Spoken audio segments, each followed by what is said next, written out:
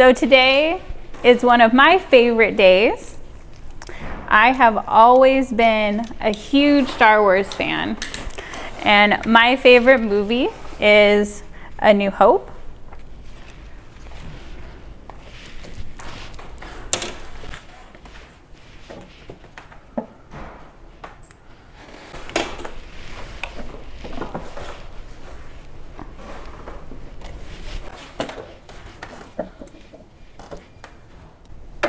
So, on this very special day, may the 4th be with you.